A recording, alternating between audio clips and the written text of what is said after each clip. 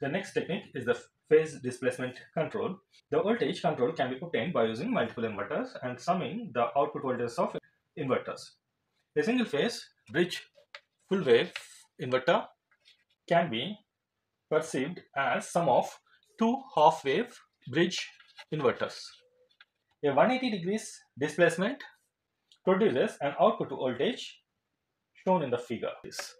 Whereas a delay angle of beta or displacement angle beta produces an output as shown here then the RMS output voltage V naught equals to Vs square root of beta by pi. Let it be equation number 1. If V A naught equals to sigma n 1 3 5 to infinity 2 Vs by n pi sine n omega t and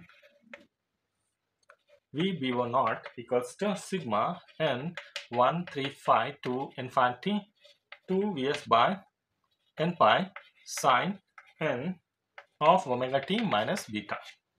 Instantaneous output voltage that is VAB equals to VA naught minus VBO that equals to sigma n 135 to infinity 2 vs pi n pi of sine n omega t minus sine n of omega t minus beta. Let this be equation number 2. Since sine A minus sine B equals to 2 sine A minus B by 2 cos A plus B by 2. Now, by using this formula, if we simplify this, then we are going to get VAB equals to sigma n 135 to infinity 4 Vs by n pi sine n beta by 2 cos n of omega t minus beta by 2. Let it be equation number 3. Now, the RMS value of fundamental output voltage V1 equals to 4 Vs divided by root 2 of sine beta by 2. That is equation number 4.